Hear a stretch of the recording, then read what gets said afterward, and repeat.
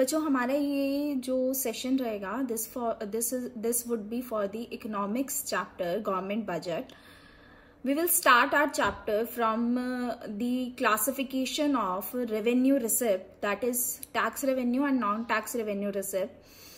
So in previous session मैंने आपको बताया था कि रेवेन्यू रिसिप्ट और कैपिटल रिसिप्ट के अंदर क्या डिफरेंस होता है। तो रेवेन्यू रिसिप्ट वो रिसिप्ट होती हैं जिसके अंदर हमारे हमारे पास, यानी गवर्नमेंट के पास कुछ पैसा आता है और उस पैसे के आने की वजह से देर would be no change in the asset and the liability situation of the government revenue receipt क्या है? जिनसे गवर्नमेंट की ना तो कोई एसेट या लाइबिलिटी दोनों में ही कोई भी चेंज नहीं आता। और इसी का ही उल्टा कैपिटल रिसिप्ट होती हैं, जिसके अंदर या तो हमारा कोई एसेट कम हो जाएगा या लाइबिलिटी बढ़ जाएगी। एसेट कम होना क्यों बोला, बढ़ना क्यों नहीं बोला? क्योंकि बेटा, हम बात कर रहे हैं रिसिप्ट की, पैसा आना। तो पैसा जो आता है, वो या तो हमारी एसेट बेच कर आता है। कभी भी एसेट खरीदते टाइम पैसा आएगा नहीं। तो इसलिए जब भी हम कैपिटल रिसिप्ट की पहचान करते हैं और उसका रीजन देते हैं तो हम उसके अंदर क्या लिखते हैं कि या तो हमारा एसेट डिक्रीज हो रहा है या लाइबिलिटी इंक्रीज हो रही है। ठीक है तो this was the topic of the previous session now in this session we will see the bifurcation of revenue receipt that is tax revenue receipt and non tax revenue receipt so ये receipt normally government को normal course of business के अंदर मिलती हैं, जिनसे हमारे asset और liability में कोई भी फ़र्क नहीं होता। अब उनकी बाइफिकेशन के लिए सबसे पहला मैंने आपको बताया tax revenue receipt tax revenue tax क्या होता है? बेटा ये कंपलसरी पेमेंट है जो बेसिकली गवर्नमेंट हम आ, लोगों से लेती है। ठीक है हम लोग कौन है? वी आर द सिटीजन और the resident of the India वो कहती है आप हमारे इंडिया के अंदर रहते हो। हम आपके लिए बहुत सारे काम करते हैं लाइक डैम्स बनवाते हैं रोड्स बनवाते हैं। आपको मेडिकल फैसिलिटीज़ देते हैं एजुकेशन फैसिलिटीज़ आपके पास आती हैं। तो उसके खर्चे के लिए पैसा कहाँ से आएगा? तो गवर्नमेंट जो होती है बेटा वो आपसे टैक्सेस लेती है। अब ये टैक्स क्या है? आप कैसे इसको डिफाइन uh, करेंगे? So it is a compulsory payment taken और charge by the government okay on the resident of the country clear अब बात आती है कि टैक्स भी कितने तरीके के होते हैं। ठीक है? टैक्स कितने तरीके के होते हैं? तो बेटा हमारे यहाँ इंडिया के अंदर दो तरीके के टैक्सेस चलते हैं। One is direct tax and second is indirect tax मैंने क्या बोला? दो तरीके की टैक्सेस हैं। One is direct tax and second is indirect tax direct tax और इनडायरेक्ट टैक्स के अंदर फ़र्क क्या होगा? उससे पहले मैं आपको एक छोटा सा कॉन्सेप्ट समझाना चाहती हूँ कि इंडियन टैक्स सिस्टम कैसे काम करता है। तो बेटा, जो इंडिया का टैक्स सिस्टम है, वो काम करता है दो एस्पेक्ट्स पर। सबसे पहला एस्पेक्ट कि जो टैक्स है, वो लेवी किस पर हो रहा है? यानी वो चार्ज किस पर हो रहा है? ठीक है, कि किसकी लाइबिलिटी है उसे पे करने की। और दूसरा आता है एक्चुअल बर्डन कौन बियर करता है? यानी उसकी एक्चुअली पेमेंट कौन करता है? तो एक लेवी का कॉन्सेप्ट होता है और एक पेमेंट का कॉन्सेप्ट होता है। तो बेटा डायरेक्ट टैक्स के अंदर जो लेवी हुआ है टैक्स वो भी उसी बंदे पर हुआ है जो उसका बर्डन पेमेंट का बर्डन बियर करेगा। यानी लेवी होना चार्ज होना और उसका बर्डन बियर करना एक ही बंदे पर होगा। For example income tax income tax क्या होता है बेटा? कि जो भी हमारे यहाँ पर रेजिडेंट ऑफ़ इंडिया जो भी यहाँ पर इनकम कमाएँगे, ठीक है, जो भी अर्निंग करेंगे, उस पर हमें गवर्नमेंट को एक टैक्स देना पड़ता है, जिसका नाम इनकम टैक्स होता है। ठीक है, जैसे मान लीजिए मिस्टर ए ने हम इंडिया के अंदर चार लाख रुपए की सैलरी अर्न करी। ठीक है? अब गवर्नमेंट उससे कहते हैं लेट से फॉर एन एग्ज़ाम्पल कि आपको मुझे दस हज़ार रुपए का टैक्स देना पड़ेगा। तो चार्ज किस पर हुआ? मिस्टर एक्स पर। पे भी कौन करेगा? मिस्टर एक्स मिस्टर एक्स ये दस हज़ार रुपए किसी और के ऊपर शिफ्ट नहीं कर सकते हैं। वो लेवी भी एक्स पर हुआ है और पेमेंट भी किसको करनी पड़ेगी? मिस्टर एक्स को। क्लियर हो गया? अब बात करते हैं इनडायरेक्ट टैक्स के अंदर। इनडायरेक्ट टैक्स के अंदर क्या होता है बेटा? इनडायरेक्ट टैक्स के अंदर जो लेवी होता है और जो पेमेंट होती है, वो दोनों अलग अलग बंदे होते हैं। फॉर एग्ज़ाम्पल जीएसटी बेटा जीएसटी हमारे यहाँ पर एक इनडायरेक्ट टैक्स है और जो इनडायरेक्ट टैक्स है ठीक है, उसका जो बर्डन है, उसके जो चार्जेस हैं, वो गवर्नमेंट ऑफ़ इंडिया ने किसके ऊपर लेवी किए हैं? वो सेलर ऑफ़ गुड्स पर। यानी मान लीजिए, एक दुकानदार है और आप उस दुकान से कुरकुरे खरीद कर लाते हैं। ठीक है? अब बेटा, वो जो कुरकुरे हैं, मान लीजिए, उसमें आठ रुपए का तो कुरकुरे का प्राइस है और दो रुपए का वो आपसे जीएसटी लेता है। ठीक है? अब ये जो जीएसटी है बेटा, ये आपके ऊपर लेवी नहीं हुआ। ये लेवी हुआ सेलर के ऊपर। ठीक है? गवर्नमेंट किससे पैसे मांगेगी? सेलर के सेलर से पैसे मांगेगी कि आप आठ रुपए का सामान बेच रहे हो तो मुझे दो रुपए का जीएसटी चाहिए। वो जो सेलर है, वो सेलर क्या करेगा बेटा? वो अपना बर्डन आप पर शिफ्ट कर देगा। यानी वो जो दो रुपए उसके ऊपर चार्ज किए थे गवर्नमेंट ने, वो खुद की जेब से नहीं देगा, वो आपसे उसको चार्ज कर लेगा। तो गवर्नमेंट ने लेवी किसके ऊपर किया बेटा? लेवी किया था सेलर के ऊपर। बट सेलर ने वो दो रुपए, आठ प्लस दो, दस रुपए का कुरकुरे का पैकेट दिया आपको और दो रुपए आपसे ले लिया। तो जीएसटी हमारा क्या हो गया? इनडायरेक्ट टैक्स हो गया, क्योंकि यहाँ पर जो बर्डन है वो शिफ्ट हो गया। दोबारा एक बार बता रही हूँ बेटा, जो टैक्स है टैक्स डायरेक्ट और इनडायरेक्ट टैक्स कैसे देखा जाता है, उसके लिए हमारे यहाँ पर एक छोटा सा कॉन्सेप्ट है लेवी का और पेमेंट का बर्डन का। तो डायरेक्ट टैक्स के अंदर लेवी और पेमेंट का बर्डन एक ही बंदे पर रहता है। That person can not shift the burden of payment right लेकिन इनडायरेक्ट टैक्स के अंदर क्या होता है बेटा? लेवी किसी और पर होता है और वो क्या करता है? बर्डन ऑफ़ पेमेंट किसी और को शिफ्ट कर देता है। चलिए जी नोट्स में एक बार देख लेते हैं बेटा।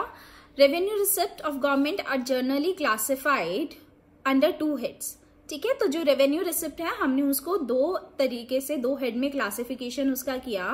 Number one is tax revenue tax revenue क्या होता है? Tax revenue refers to sum total of receipt from taxes and other duties impose by the government यानी जो भी गवर्नमेंट क्या कर रही है? टैक्सेस और अदर ड्यूटीज़ बेटा ड्यूटीज़ क्यों लिखा? टैक्सेस वर्ड वर्ड सफिशियंट क्यों नहीं था? क्योंकि बेटा, हमारे यहाँ पर एक कस्टम ड्यूटी ठीक है?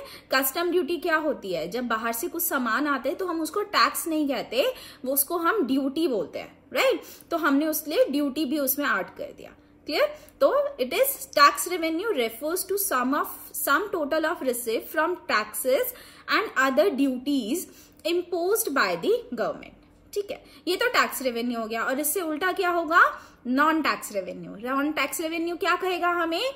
Non tax revenue refers to receipt of government from all sources बाकी सारे सोर्सेज से, जो भी रेवेन्यू सोर्सेज हैं, बाकी सारे सोर्सेज से जितना भी उसको पैसा आता है बट ध्यान रहे रेवेन्यू सोर्सेज से other than tax receipt tax के अलावा जो भी रेवेन्यू रिसिप्ट हो रही है, वो सारी की सारी नॉन टैक्स रिसिप्ट के अंदर आ जाएँगे। ठीक है? चलिए, अब बात करते हैं टैक्स रिसिप्ट क्या होती है। Definition tax revenue refers to sum total of receipt from taxes and other duties impose by the government same definition ऊपर वाली यहाँ नीचे उतार दी सो so दैट आपको मल्टीपल ऑफ़ डेफिनेशन लर्न करने की ज़रूरत नहीं है। ठीक है, अब इसके फीचर्स क्या क्या होते हैं? सबसे पहला tax is a compulsory payment no one can refuse to pay it government ने जिसके ऊपर लेवी कर दिया पेमेंट करना पड़ेगा। यू कैन नॉट रिफ्यूज कि मेरे पास पैसा नहीं है and I can not pay the tax this is a compulsory payment okay बेटा?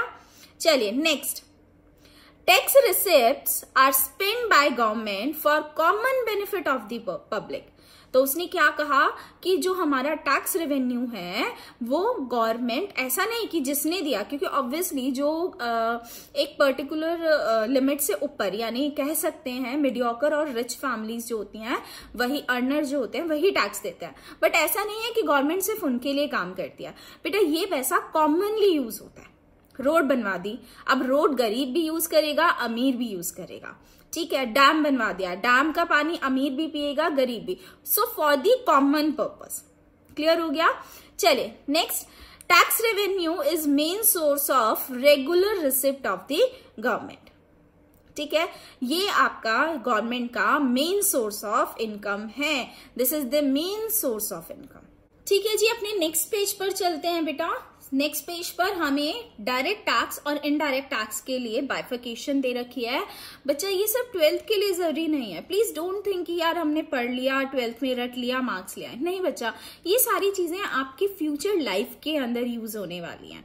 ठीक है, आप बड़े होंगे, आप इनकम कमाएँगे। आपको पता होना चाहिए कि आपके ऊपर कितने टैक्सेस लग रहे हैं। कौन कौन सी गवर्नमेंट ऐसे पॉलिसीज़ या पॉलिसीज़ इम्पोज कर रहा है जहाँ आपका पैसा आउटफ्लो होने वाला है और वो आपको वापस कैसे मिलेगा? कैसे उसका बेनिफिट मिलेगा? That should be in your tips कि नहीं यार, ये डायरेक्ट टैक्स होता है, ये इनडायरेक्ट टैक्स होता है। तो बेटा, इसका डिफरेंस एक बार पढ़ लेते हैं।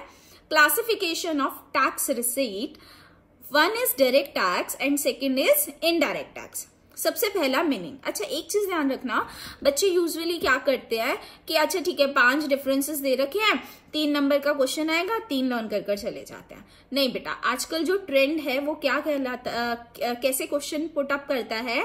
Differentiate between direct tax and indirect tax on the basis of this तो इट मीन्स क्या हुआ? आपके पाँचों पॉइंट इंपॉर्टेंट है। ये सिर्फ़ इकोनॉमिक्स के लिए नहीं बता रही। मैं ये आपके बिज़नेस के लिए भी बता रही हूँ। मैं आपके अकाउंट्स पेपर के लिए भी बता रही हूँ। सबके सारे डिफरेंसेस आपको लर्न करने हैं, क्योंकि बेसिस के साथ आता है कि इस बेसिस के हिसाब से आप उसकी बाइफिकेशन बता दीजिए। क्लियर हो गया? चलिए मीनिंग पढ़ लेते हैं एक बार। Direct tax are those tax when liability to pay and actual burden of tax lies on same person. यानी लेवी और पेमेंट दोनों एक ही बंदा कर रहा है। ठीक है? मैंने अभी आपको समझाया था। Indirect tax indirect tax refers to those taxes where liability to pay the tax and actual burden lies on different person बताया था लेवी सेलर पे होता है बट एक्चुअल पेमेंट बर्डन कौन बियर करता है बेटा? कंज्यूमर बियर करता है। क्लियर चलिए next shifting of burden obviously meaning में से ही एक पॉइंट उठा लिया कि बर्डन शिफ्ट होता है या नहीं होता। तो डायरेक्ट टैक्स में बर्डन शिफ्ट नहीं होता और इनडायरेक्ट टैक्स में बर्डन शिफ्ट हो जाता है। तो shifting of burden burden of direct tax can not be shifted that is impact and incidence is on the same person same ऊपर वाली लाइन्स को थोड़ा सा ब्यूटिफाई कर कर आपको प्रेजेंट कर दिया। अच्छा इनडायरेक्ट टैक्स में क्या हुआ? The burden of the indirect tax can be shifted that is impact and incidence is on different person ठीक है? सेलर एंड बायर नेचर क्या है? बेटा, वो कहता है, जो डायरेक्ट टैक्स होता है these are progressive in nature word क्या यूज़ किया? प्रोग्रेसिव प्रोग्रेसिव का मतलब बढ़ता हुआ राइट यही होता है ना प्रोग्रेसिव का। तो बेटा, जो डायरेक्ट टैक्स होता है ना, वो जैसे जैसे इनकम बढ़ती जाती है वैसे वैसे टैक्स भी बढ़ता जाता है। जो मिनिमम इनकम है, जैसे मैं कहती हूँ, मान लीजिए तीन लाख रुपए, तीन लाख पर कोई टैक्स नहीं। उससे ऊपर कमाओगे तो टैक्स लगेगा, और ऊपर कमाओगे तो ज़्यादा टैक्स लगेगा, और ऊपर कमाओगे तो और ज़्यादा टैक्स लगेगा। तो इट मीन्स क्या हुआ? इनकम बढ़ रही है तो टैक्स भी बढ़ रहा है। ठीक है? लेकिन बेटा इनडायरेक्ट टैक्स में ऐसा नहीं होता। डायरेक्ट टैक्स में गरीब पैसा नहीं दे रहा या कम दे रहा है टैक्स का। अमीर ज़्यादा टैक्स पे कर रहा है। बट बच्चा डायरेक्ट टैक्स के अंदर, ओ सॉरी इनडायरेक्ट टैक्स के अंदर अमीर और गरीब दोनों सेम अमाउंट ऑफ़ टैक्स दे रहे हैं। कैसे? मान लीजिए एक कुरकुरा खरीदने आए कोई, ठीक है? मिस्टर एक्स उनकी इनकम कम है, मिस्टर वाई वो रिच है। अब मिस्टर एक्स से भी दो रुपए सेलर ले रहा है डायरेक्ट वो इनडायरेक्ट टैक्स के, और मिस्टर वाई से भी दो रुपए ले रहा है जीएसटी के नाम से। तो this is called proportional tax यानी जितना खर्चा करोगे, उसी के हिसाब से आपको टैक्स देना पड़ेगा। ऐसा नहीं है कि अमीर से कम और गरीब से ज़्यादा। जितना खर्चा है, अगर एक बंदा, दूसरा बंदा दोनों ही कुरकुरे खरीद रहे हैं, चाहे उनकी इनकम कितनी भी हो they have to pay same amount proportionate amount of the tax. Clear ho gaya So this is the direct tax and indirect tax on the basis of nature. Coverage.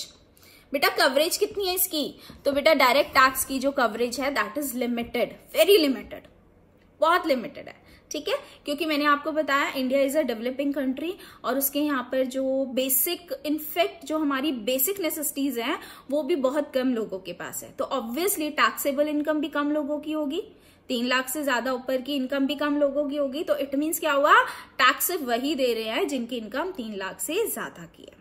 Clear लेकिन बेटा, कुरकुरे तो हर कोई खा रहा है। तो इट मीन्स क्या हुआ? जब जब कोई खर्चा करेगा, तब तब वो जीएसटी पे करेगा। तो इट मीन्स क्या हुआ? खरीदना बेचना तो चलता रहता है। डेली आप लोग भी बहुत चीज़ खरीदते हो। पेन खरीदते हो पेपर्स खरीदते हो, ठीक है? तो इट मीन्स क्या हुआ? इनडायरेक्ट टैक्स की कवरेज बहुत ज़्यादा है। ठीक है? चलिए एग्ज़ाम्पल पर आ जाते हैं। Example of direct tax income tax corporation tax wealth tax income tax, corporation tax जो कंपनीज़ पर लगता है, वेल्थ टैक्स जो आपकी संपत्ति यानी आपकी वेल्थ पर लगता है। ठीक है? सेल्स टैक्स, अभी तो ये डिस्कार्ड हो गया जीएसटी आ गया। GST excise duty custom duty ठीक है? ये सारे के सारे एग्ज़ाम्पल हैं इनडायरेक्ट टैक्स के। क्लियर हो गया? तो बच्चा, ये नोट्स हैं आपके पास। आप इनका स्क्रीनशॉट लेकर अपने पास रख सकते हैं। और अगर आपको पीडीएफ चाहिए तो आप मुझे मैसेज भी कर सकते हैं। ठीक है मैं अपना नंबर लास्ट में आपको दे दूँगी। एंड आई होप आपको वीडियो पसंद आया हो और आपने अच्छे से इसे अंडरस्टैंड किया होगा। टुमारो uh, मैं आपका नेक्स्ट सेशन इसी के आगे का सेशन मैं अपलोड कर दूँगी। So follow these video so that you can you can complete your government budget chapter in six और seven sessions thank you thank you so much